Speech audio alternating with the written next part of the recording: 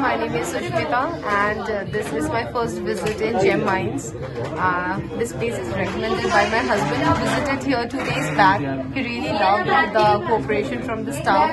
Um, the suggestions that Acharya gave uh, him was very much rel relative and he really loved the way things came up to him. The gems here are really very authentic and the price, that is the main reason what I like about this place. The price is uh, much suitable to all sorts of people, which we usually don't find anywhere. So I would definitely recommend this place to my friends and whosoever I know. Please visit here and I'm sure you're going to find a problem to all your solutions. Thank you.